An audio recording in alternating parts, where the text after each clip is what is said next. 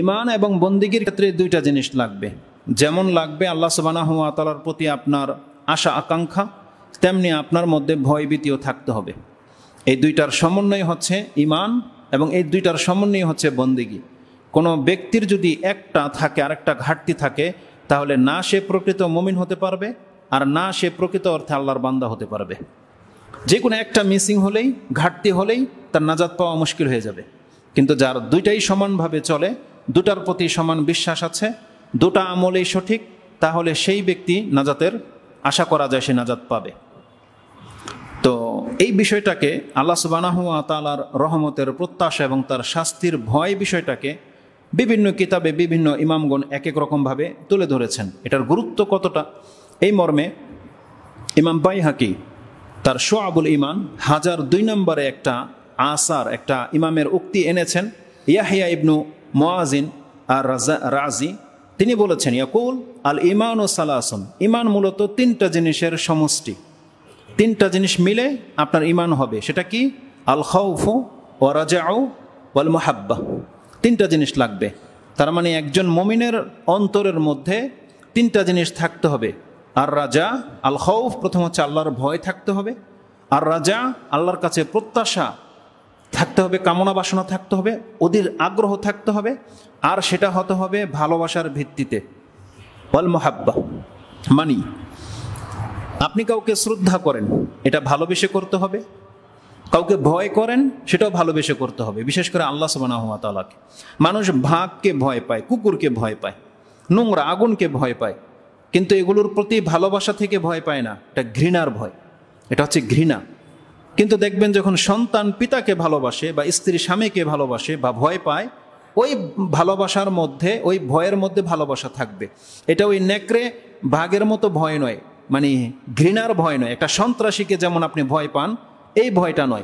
বরং একজন আলেম, একজন বুজুর্গ ব্যক্তি বা একজন সৎলোককে যেন আপনি ভয় পান। কেন ভয় পান? যাতে তার সাথে বেয়াদবি করলে আল্লাহ অসন্তুষ্ট হয়ে যাবে। এটা হচ্ছে মহাব্বতের ভয়। আবার পীর ফকিরের ভয় নয় যে আপনি হালাক হয়ে যাবেন এমনটা নয়। মানে বেয়াদবি করলে সাধারণত মুরব্বী, সেটা যে কেউ হতে পারে, বয়োজ্যেষ্ঠ যে কোনো মুসলিমের সাথে যদি আমরা বেয়াদবি করি, এতে আল্লাহ অসন্তুষ্ট হয়ে যাবে। সেটা পিতামাতা হতে পারে। তাহলে এই ভয়টা হচ্ছে ভালোবাসার ভয়। আল্লাহ সুবাহানা হুয়া তালাকে আপনি ভয় পাবেন, তাতে ভালোবাসা থাকতে হবে। আর আল্লাহ সুবাহানা হুয়া তালার প্রতি আপনি ইমান এনেছেন তার আনুগত্য করবেন, সেটাও ভালোবাসার ভিত্তিতেই হবে। দু একটা উক্তি বলি, তারপরে ধরনটা আপনার কাছে আমি তুলে ধরবো। তো ইমাম বাই হাকে রাহেমাহুল্লাহ, তিনি তার এক হাজার দুই নম্বরে এ কথাটা এনেছেন যে একজন ইমাম বলেছেন, আল ইমান ও সালাহ সাতুন তিনটা জিনিসের সমষ্টি হচ্ছে ইমান। আল খৌফ ও রাজা ওয়াল মাহাব্বা। তার মতো অনুরূপ আরেকটি কথা পাওয়া যায়।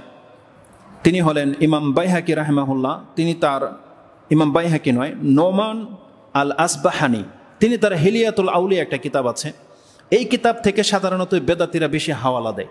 কিন্তু আমি এখান থেকে এই কথাগুলো কেন বলতেছি? এগুলো ইমানের বা কোরআন হাদিসের সাথে মিল আছে মানে বিপরীত কোনো দিক নয়। আর কথাগুলো খুব সেন্সিটিভ সেই জন্য আমি এই কথাগুলোকে কোট করেছি। এই হেলিয়াতুল আউলিয়ার মধ্যে আবা আলী একজন প্রবীণ শিক্ষক রয়েছেন। তার পক্ষ থেকে ইয়াকুল, সালাসাত আশিয়া মিন আকদি তৌহিদ। যেহেতু এই শব্দটা আছে তৌহিদ, যেহেতু এটা আমরা, আমাদের তৌহিদবাদীদের শিক্ষা এটা। তাওহিদের কথা যারাই বলে, তারাই মূলত হক্কানি হয়ে থাকে। বাতিলপন্থী কখনো তাওহিদ শব্দটা উচ্চারণ করে না, বরং তাওহিদের শব্দটার মর্ম শুধুমাত্র কোরআন এবং সুন্নার সঠিকভাবে যারা ফলো করে, তাদের কাছের মূল্য আছে তাওহিদ শব্দের। তো ইমাম বলতেছেন, সালাসাতু আশিয়া মিন আকদিদ তৌহিদ। এই যে আমরা বলি না আমি তাওহিদবাদী, আমার মধ্যে তাওহিদ আছে। কার মধ্যে তৌহিদ আছে? যার মধ্যে তিনটা গুণ থাকবে। তিনি বলতেছেন, তিনটা গিরার সমন্বয় হচ্ছে তৌহিদ তিনিও ঠিক এই তিনটা জুমলাই বলেছেন আল খৌফু ওয়ার রাজাউ ওয়াল মোহাব্বা একজন ব্যক্তি আল্লাহর কাছে অনেক বেশি আশা রাখে, এটা তার তৌহিদের প্রমাণ। একজন ব্যক্তি আল্লাহকে অনেক বেশি ভয় পায়, এটা তার তৌহিদের প্রমাণ। একজন ব্যক্তি আল্লাহকে সব থেকে বেশি ভালোবাসে, এটা তার তৌহিদের প্রমাণ। তার মানে তৌহিদবাদীর অন্তরের মধ্যে তিনটা জিনিস থাকতেই হবে। সে আল্লাহর কাছে সব থেকে বেশি আশা করে, যেটা পৃথিবীর কারও কাছ থেকে সে আশা করে না, আর আল্লাহকে সে এতটা ভয় পায় সে আর কাউকে ভয় পায় না। আর আল্লাহকে সে এতটা ভালোবাসবে যে আর কাউকে এতটা ভালোবাসতে পারবে না সে। তাহলে এটা হচ্ছে একটা মুমিন ব্যক্তির গুণ। তার অন্তরে তিনটা জিনিস এক সমান থাকতে হবে। কোনোটা মানে উনিশ বিশ হবে না, এক সমান থাকবে। এটাই হলো পূর্ণ পূর্ণ তাওহিদ বা তাওহিদবাদী হওয়া। এ কথাটা খুব চমৎকার ছিল। তার মানে ভয়, ভীতি ও আশা, এই দুইটা এমন এমন জিনিস, এই কথাটা বলার আগে বলেছিলাম যে একটা উদাহরণ দেব। প্রত্যাশা আর ভয়, এর সাথে যদি ভালোবাসা থাকে আর ভালোবাসা না থাকে, দুইটা রূপ আপনাকে বুঝতে হবে, দেখেন কেমন। আপনি লক্ষ্য করে দেখেছেন, অনেক সময় ময়লাতে যদি আপনার দামি কোনো জিনিস পড়ে যায়, মোবাইলটা পড়ে যেতে পারে, ড্রেনে, পড়ে যেতে পারে না? দামি, মোবাইলটা কিন্তু আপনার দামি, আপনার হাতের ঘড়িটা দামি, গাড়ির চাবি দামি, যে কোনো একটা দামি জিনিস পড়ে গেল ময়লায়। আপনি কি করবেন তৎক্ষণাৎ? আপনার বাম হাতটাকে গুটিয়ে ওটা থেকে হাত দিয়ে তোলার চেষ্টা করবেন। যেহেতু তৎক্ষণ না নিলে সেটা আপনি পাচ্ছেন না। কেউ নাই। আপনাকে সেটা করতে হবে। তখন কি করবেন আপনি? ওই হাত দিয়ে নিজেই বাম হাত দিয়ে সেটা উঠালেন। ভালোবেসে উঠালেন না ঘৃণায়? ঘৃণায়। এটা আপনার করতে ইচ্ছা হবে না। কিন্তু আপনার দামি জিনিস যেহেতু আপনার ঘৃণাতে সেটা আপনাকে উঠাতে হবে। আপনি বাধ্য হয়ে গেছেন তাই। কিন্তু যারা এই কাজ করে, মেতর যাদেরকে বলি আমরা, যারা ক্লিনারের কাজ করে, আপনি যদি তাকে ডাকেন, সে চুক্তির ভিত্তিতে একশো, দুইশো, পাঁচশো যা বলেন, আপনার সন্তুষ্টের ক্ষেত্রে বলবেন, যা বলবা তুমি দিমু, করো। ও ও যে যখন করবে, ও কি ঘৃণা নিয়ে করবে নাকি স্বাচ্ছন্দ্যের সাথে করবে? ও স্বাচ্ছন্দ্যের সাথে করবে। যে ঘৃণাটা আপনার লাগতেছে এই কষ্টটা ওর লাগবে না, কারণ এটা ওর কাজ। ও মেনিয়ে নিয়েছে এটা, যেটা আমার কাজ। যেমন ময়লার গাড়িগুলো যখন, সিটি কর্পোরেশনের ময়লার গাড়িগুলো যখন যায়, আপনি অস্থির হয়ে যান, বিরক্ত হয়ে যান, যে এটা সরে না কেন এখান থেকে? আপনার নাক বন্ধ করে রাখেন। কিন্তু যেই দুইটা লোককে আপনি দেখতে পাবেন অলরেডি সে গাড়িতে ঝুলে আছে। তারা সেই কাজগুলো করে। এই দুই ব্যক্তির মধ্যে পার্থক্য কি? ওই একই গন্ধ। সে ওটা ঘৃণা করে না, সে মেনে নিয়েছে, যে এটা আমার কাজ, আমার উপায় নেই আর। আর আপনি সেটা নাকে তো আসে, কিন্তু বিরক্তির সাথে। তো এটা হলো ভালোবাসা, মেনে নেওয়া আর বাধ্য হয়ে করার মধ্যে পার্থক্য। আমরা যদি আল্লাহ সুবানাহুয়া তালার বন্দিগি সালাদকে যদি ভালোবাসার সাথে নিতে পারি না, তাহলে আমাদের রেজাল্ট হবে ওই রকম ওই মেথরের চেয়ে তো আমরা ঝুঁকে যাব বেশি আল্লাহর কাছে, এতে আমাদের মজা লাগবে। কিন্তু আমাদের যদি ভালোবাসা না থাকে না, বিরক্তির সাথে মানে হুজুর যদি দুই রাকাত নামাজ লম্বা করে দেয়, তাহলে আপনার অবস্থা খারাপ হয়ে যাবে। কিন্তু সেটা যদি ভালোবাসার ভিত্তিতে হয়, সে যতক্ষণ সেজদায় পরে থাকবে আপনাকে ততক্ষণ সেজদায় পরে থাকতে ভালো লাগবে। তাহলে ভালোবাসাটা এতটা সেন্সিটিভ বিষয়। তা আল্লাহ সুবহানা হুয়া তালার বন্দিগির ক্ষেত্রে, ভয়ের ক্ষেত্রে ভালোবাসা লাগবে। যদি সেটা না থাকে না, তাহলে আল্লাহ সুবহানা কাছ থেকে মানুষ দূরে সরে যাবে। এটা একটা এক্সাম্পল জাস্ট আমি আপনাকে বোঝানোর জন্য উল্লেখ করেছি। তো ভালোবাসা এবং মানে ভয় এবং আশা, এই দুইটা কেমন? ওলামাদের দৃষ্টিভঙ্গি থেকে তারা এটাকে পাখির সাথে তুলনা করেছে যে একজন মমিনের আশা এবং ভয়। এই দুইটার উদাহরণ হচ্ছে পাখির দুইটা ডানার মতো। পাখির একটা ডানা যদি কাজ না করে না, সে পাখি উঠতে পারবে না, সামনে এগুতে পারবে না। তাহলে কোনো মমিন যদি তার রবের কাছে পৌঁছতে চায়, পাখি যেমন তার গন্তব্যে দুই ডানার সাহায্যে পৌঁছে, একজন মমিনকে তার এই দুইটা গুণ দিয়েই পৌঁছতে হবে। এক, তার আল্লাহর প্রতি আশাও থাকতে হবে আর অপরদিকে আল্লাহর প্রতি ভয়ও থাকতে হবে। কোনো একটা লেজ হয়ে গেলে সে উঠতে পারবে না, যেমন পাখি এক ডানা দিয়ে সামনে যেতে পারবে না। তো এই কথাটাকে কত চমৎকারভাবে উল্লেখ করেছেন, এটাও আমি ইমাম বাইহাকি রাহেমাহুল্লার সোয়াবুল ইমান থেকে নিয়েছি, নয়শো ছিয়ানব্বই নাম্বারে গিয়ে আপনি পেয়ে যাবেন।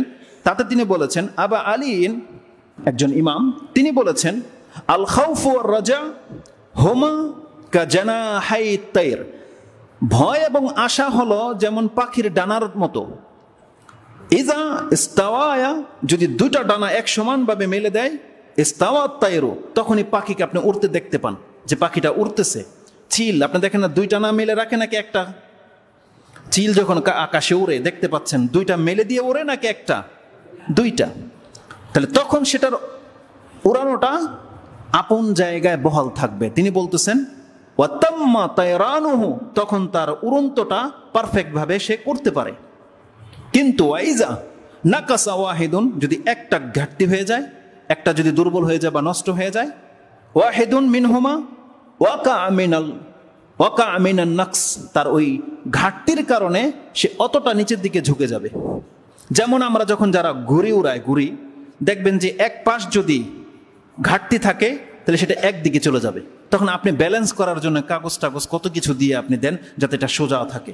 তার মানে দুই পাশই তার সমান থাকতে হবে ব্যালেন্স তাহলে সেটা উড়বে, আর নাহলে উড়বে না, ডুবে যাবে। ঠিক ওই কথাটাই বলেছেন। তিনি বলছেন, কেন? ওয়াইজা জাহাবা জামিয়ান, আর যদি দুইটা ডানাই নষ্ট হয়ে যায়, কি হবে? সারাতা এ রফি হাদ্দিল মৌত। এমনকি পাখি মরে যাবে, উপর থেকে পড়ে গেলে মরে যাবে। কেন তিনি এই কথাটা বলেছেন? তিনি বলেছেন, এটা আমি এই জন্যে বললাম, লিজালিকা কিলা লাউ উজিনা খাউফুল মুমিনি ওয়া রাজাউহু লাআতাদালা কোনো ব্যক্তিকে বলা হয়েছে, তুমি যদি একজন মমিনের ভয় এবং আশা দুইটাকে যদি ওজন করো, তাহলে সমান পাবে। একের এতে দাল পাবে, হান্ড্রেড পার্সেন্ট সমান পাবে। সে যেমন আল্লাহকে ভয় পায়, তেমন আল্লাহর কাছে প্রত্যাশাও রাখে। তার মানে মমিনের গুণ হইতে হবে, তার ভয় এবং আশা দুটাই হান্ড্রেড পার্সেন্ট থাকবে। পাল্লা যেমন আপনি মেপে নেন, পাল্লাতে কিনেন আপনি, তরকারিতে একটু কম হলে আপনি বলেন যে পাল্লা সমান হয় না ঠিক মতন মাপো, তাই না? কেয়ামতের মাঠে প্রত্যেকটা মমিনের কাছ থেকে আল্লাহ তার ইমানের ক্ষেত্রে এটা মেপে নেবে যে তোমার, আমার প্রতি ভয় কতটা ছিল, আমার প্রতি তোমার আস্থা কতটা ছিল। আল্লাহ যদি কাল কেয়ামতের দিন এভাবে পাল্লা দিয়ে মেপে নেয়, আর আল্লাহ বলেছে, আমি মিজান কায়েম করব। আমাদের রেজাল্ট কি হবে? আমাদের অধিকাংশ মুসলিমরা আল্লাহকে ভয় পাই না। আমাদের একটা ডানা পুরোই মিসিং। কেউ সামান্য একটু ভয় পায়। কিন্তু আশা করে বসে আছে, ওভার। হান্ড্রেড পার্সেন্টের চাইতেও বেশি তার ওই পাল্লা একেবারে উঠে আছে, আর এই পাল্লা একেবারে ডাউন কি রেজাল্ট হবে? আজকে আমাদের অবক্ষয়, আমাদের চরিত্র নষ্ট হয়ে যাচ্ছে, আমাদের দ্বারা পাপ হচ্ছে, ইবাদত করে মজা পাই না কেন? আমাদের একটা ডানা একেবারেই নেই। আপনি জেনে নেন, এটা ইমান নয়, বরং এটা আমাদের ভৌতাবাজি। এটা আল্লাহর সাথে একটা মানে আমাদের লোক দেখানো একটা বিষয় যে আমি আল্লাহকে অনেক বেশি ভালোবাসি, আল্লাহ ক্ষমাশীল। দেখবেন নামাজ পড়েন, একে যদি বলেন, আল্লাহ গাফুরুর রাহিম। এ বলে তার মানে এ মসজিদের ইমাম, ওই প্রথম কাতারে যারা থাকে, তাদের থেকেও বেশি এই লোকটা আল্লাহকে চিনে গেছে যে নামাজই পড়ে না। সে যে তথ্যটা পেয়েছে, আমরা আমাদেরকে নিয়ে কথা বলি। আপনারা যারা আছেন, মাঝে মাঝে নামাজ পড়েন, মাঝে মাঝে পড়েন না। আপনারা যে জেনেছেন যে আল্লাহ সুবানাহতালা ক্ষমাসীন, দয়াবান, কার কাছ থেকে জেনেছেন? এটা তো এই মিম্বরে যিনি দাঁড়ায়, তার কাছ থেকেই তো জেনেছেন, তাই না? আমি নই মানে মিম্বরে যেই দাঁড়াবে, সেই নেই কথাগুলো বলে মানে ইমাম একজন জ্ঞানী ব্যক্তি, তাহলে জ্ঞানী ব্যক্তির কাছ থেকে আপনি শুনেছেন যে আল্লাহ ক্ষমাশীল। কিন্তু রেজাল্টটা কি জানেন? সে যেইভাবে গ্রহণ করেছে, আপনি সেভাবে গ্রহণ করেন নাই। বরং আপনি যেইভাবে গ্রহণ করেছেন, সে ওই জায়গায় পৌঁছতেই পারেনি আপনি আল্লাহকে এমনভাবে ক্ষমাশীল পাচ্ছেন, আপনার মনে হচ্ছে যে নামাজ না পড়ল আল্লাহ আপনাকে মাফ করে দিবে। কিন্তু যেই লোকটা আপনাকে মেসেজটা দিয়েছে, সেই ইমাম এত বড় সাহস পায় নাই সে পায় নাই যে নামাজ না পড়লে আমাকে আল্লাহ মাফ করে দিবে। কিন্তু আপনি সেটা পেয়ে গেছেন। তার মানে আল্লাহকে ইমাম এবং প্রথম কাতারে যারা থাকে, তাদের চাইতে ওই লোকেরা বেশি চিনেছে যে নামাজই পড়ে না, যে হারাম খায়, যে দাঁড়িয়ে রাখে না। দাড়িওয়ালার চেয়ে বেশি চিনে ফেলেছে ওই লোক।